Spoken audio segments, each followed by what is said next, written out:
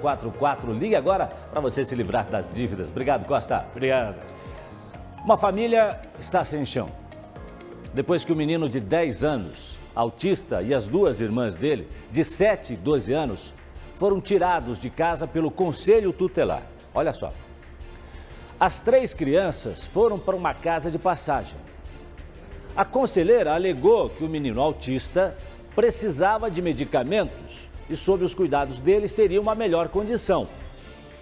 Mas no mesmo dia em que foi tirado da casa da família, o menino desapareceu do abrigo.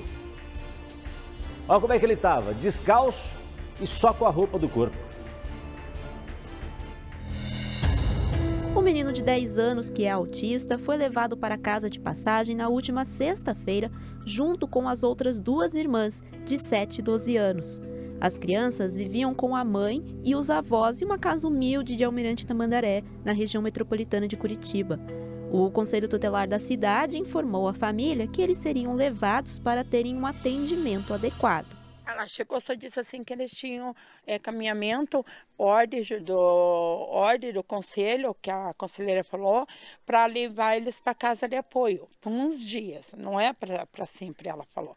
Pelos uns dias, eles iam ajeitando as coisas. Perguntei para elas, porque eu não, dona Dorima, não é pelo fato da sua casa, é pelo fato que, assim, as crianças precisam de cuidado médico. Ela foi, levou, põe do carro, foi sabe? Ela não tava que jeito como que eu tava. E a minha mãe quase não parte nela. As crianças foram trazidas aqui para essa casa de passagem no meio da tarde. Quando foi perto das 7 horas da noite, o menino de 10 anos saiu por esse portão e foi andando sem rumo pela rua. Segundo a Prefeitura de Almirante Tamandaré, a cuidadora e a vigia que estavam aqui no local agiram imediatamente e foram atrás do menino, mas ele teria entrado numa área de mata, o que teria dificultado as buscas. Imagens de câmeras de segurança flagraram o menino andando desorientado na rua às 8h17 da noite. A família só ficou sabendo do desaparecimento no dia seguinte. O avô decidiu sair e procurar pelo neto e o encontrou no meio da rua, próximo de casa, bastante assustado. Ele passou a noite na chuva, estava descalço e com um machucado na boca. Estava tremendo de frio, não chega nem falar. Estava descalço, tudo molhado. Perdi minha meia, arranquei minha meia e minha busca estava de play também.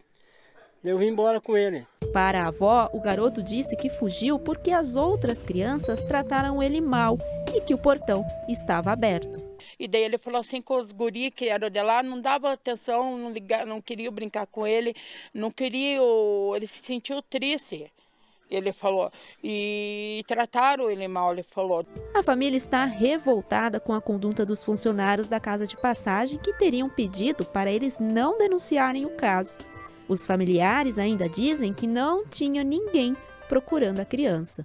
Eles falaram assim que não era para nós ir abrir BO e não era para nós fazer, falar para os repórteres, que os repórteres que quisessem ajudar a gente a procurar o menino, podia, mas que fosse para a gente denunciar, não era para denunciar, que não ia adiantar nada.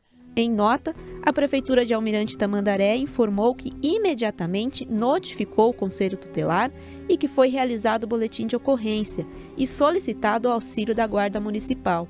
O Serviço de Investigação de Crianças Desaparecidas também foi acionado. Depois do susto, o menino foi levado de volta para o abrigo.